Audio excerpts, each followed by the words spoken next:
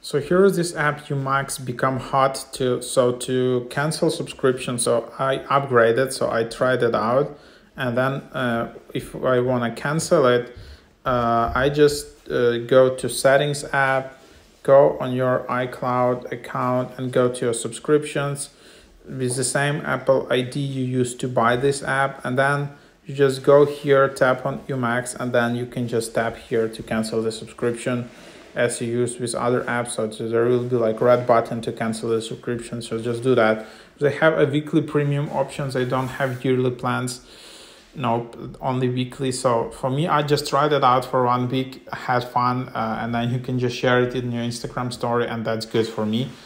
Uh, like because this app doesn't allow you to have unlimited scans, so you can only have like uh, one scan, and then even with the subscription you need to scan uh, you can scan only once per week. If you want to do additional scan uh, or something you then you will need to um, uh, pay additional price. So there you have it